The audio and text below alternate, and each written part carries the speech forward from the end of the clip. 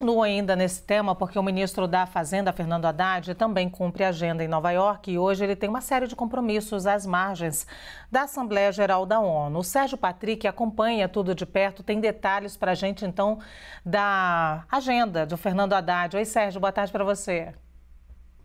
Boa tarde, Luciana. Boa tarde para todo mundo. Hoje está bem melhor aqui em Nova York do que a chuva que a gente teve ontem, né? Céu azul, temperatura bem agradável. O ministro Fernando Haddad não para, né? Ontem foram três eventos, mais uma reunião fechada. Hoje já está no segundo evento.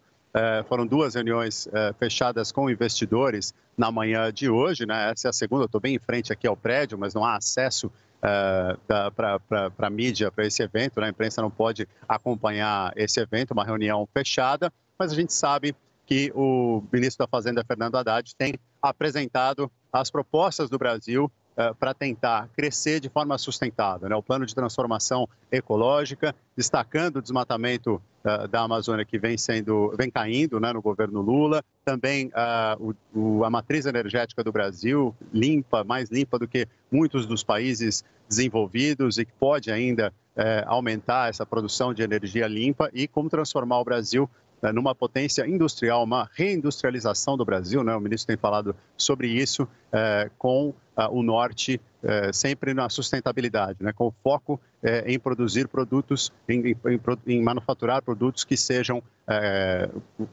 limpos, né? que sejam com energia verde e que tenham esse selo de aprovação para entrar na economia global com muito mais força. Ainda hoje, o ministro vai conversar com o ex-prefeito de Nova York, Michael Bloomberg, num evento no final da tarde. E ontem, eh, em um dos eventos nos quais ele participou, na Universidade de Colômbia, o ministro falou também sobre juros no Brasil, né, que são eh, também um ponto importante para esse desenvolvimento da economia e como ele tem feito para que o Ministério da Fazenda esteja alinhado com o Banco Central, que é independente, eh, nesse caso, né, no governo brasileiro.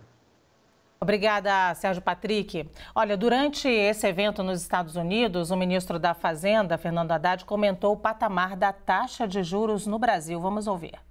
De fato, o Brasil pratica, e não é de hoje, as mais altas taxas de juro eh, do mundo. Eh, em vários momentos eh, históricos isso, isso foi, foi assim. Uh, e eu no meu quando eu fui indicado pelo presidente Lula, né, ministro da Fazenda, eu a primeira providência que eu, que eu tomei no sentido de é, buscar um, uma, uma, aproximação com o Banco Central, né, que tem, tinha na ocasião nove dos nove diretores indicados pelo governo anterior, era promover uma aproximação no sentido de harmonizar a política monetária e a política fiscal. Então, foi uma situação de estranhamento inicial, mas o que eu procurei fazer pela Fazenda foi apresentar argumentos técnicos sobre a viabilidade de uma mudança da política monetária eh, ainda no primeiro semestre, o que não aconteceu, mas aconteceu na primeira reunião do cupom do segundo semestre, né, em, em agosto começou o ciclo de cortes. Eu entendia que o, o ciclo poderia começar duas reuniões antes. Né?